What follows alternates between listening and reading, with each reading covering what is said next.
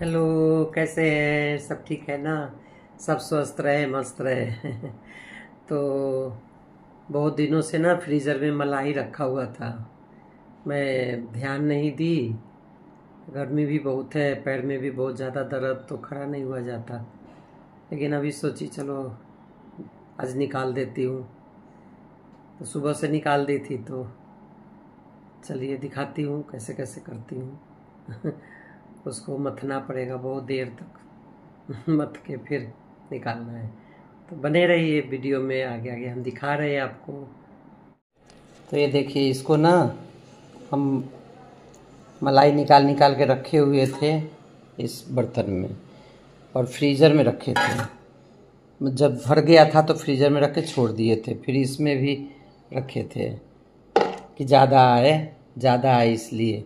अब दोनों से निकाल लिए हैं। दोनों से निकाल के इसमें तब इससे तो ऐसे ऐसे करिए रहे थे, लेकिन मैं ना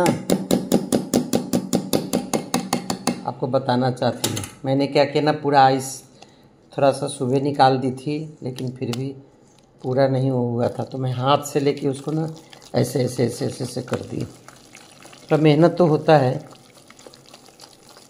देखिए।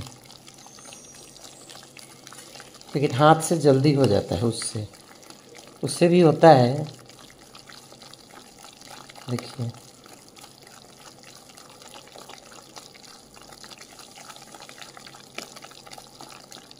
हाथ तो दुख जाता है, लेकिन छोड़ रहा है, देखिए, छोड़ रहा है।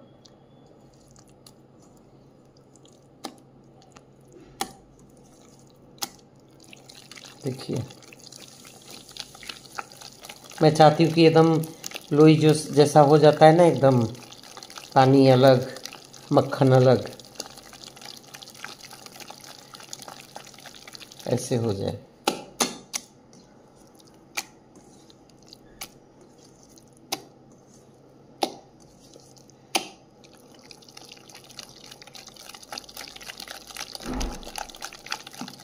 हाथ दुख रहा है।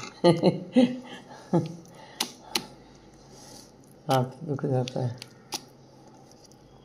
हर चीज़ मेहनत का ही है, फिर भी देखिए, निकल रहा है पानी, देखिए, निकल रहा है। और एक दो बार ऐसे ऐसे करेंगे तो हो जाएगा।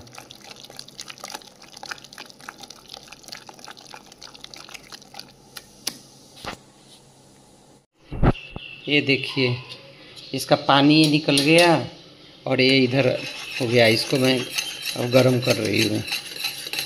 अब इसको ऐसे चलाने से ना पूरा जो गोल गोल हो गया था ना, वो अभी सब पतला हो गया है, देखिए।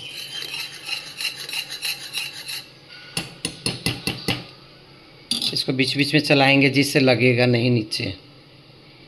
इसका पानी ये निकल गया, देखिए। इसका भी मैं कभी कभी वो बना लेती हूँ पनीर। इसको गर्म करने के लिए चढ़ा दूँगी। और इसके अंदर में नींबू काट के डालूँगी। देखिए, जो इसका पानी निकला था ना, इसमें मैंने ना नींबू निचोड़ दिया नींबू।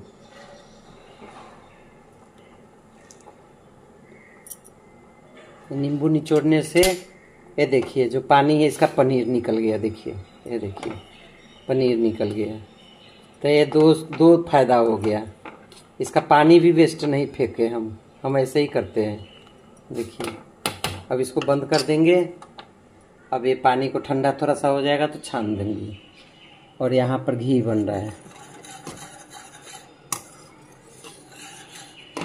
इसको भी थोड़ा तेज, कभी तेज, कभी कम। तेज करने से फेंकने लगता है। तो इसको ना, तेज करते तो चलाते रहते हैं। थोड़ा कम कर देते हैं धीरे धीरे होते रहेगा। और ये पनीर हो गया, देखिए। ये पनीर अब इसको छान देती हूँ मैं। ये देखिए, पनीर निकल गया। इसमें ना पानी डालते हैं धोने के लिए। नींबू डाले हैं ना तो उसका खट्टापन निकल जाएगा। देखिए कितना कितना सारा निकल गया पनीर, देखिए। अब इसको हम दबा के रख देंगे। पनीर हो गया। और एक घी बन रहा है। इसको भी बीच बीच में चलाते रहते हैं। ये देखिए, दबा के रख दी हूँ पनीर को। ये देखिए, पनीर हो गया। तो ये इसको इसको दबा दिया इससे। और ये घी भी बन रहा है।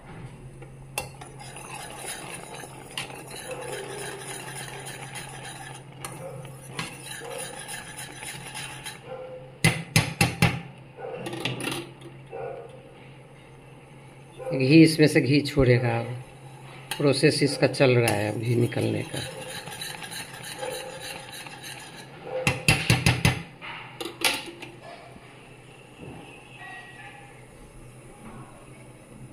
और ये पनीर भी हो ही गया, इसको हटा देती हूँ दब गया।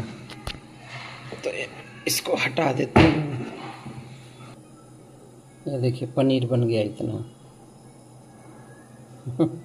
घी का घी और पनीर का पनीर। घी और पनीर दोनों बन गया।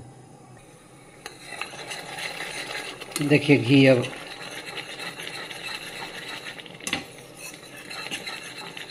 टाइम तो थोड़ा लगता है इसमें। आटा उटा डाल के करते हैं, लेकिन मैं तो ऐसे ही करती हूँ।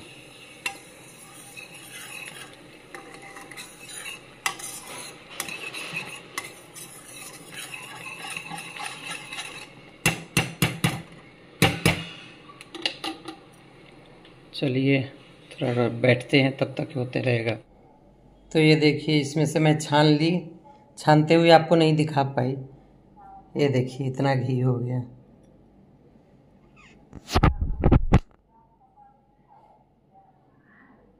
तो आप लोग भी घर में घी निकालिए। घर का निकाला हुआ घी बहुत अच्छा होता है। मेहनत तो बहुत होता है, लेकिन अच्छा होता है। चलिए तो इसके लिए लाइक शेयर सब्सक्राइब तो बनता है भाई। हम अगले ब्लॉग में मिलेंगे फिर, कुछ दिखाएँगे।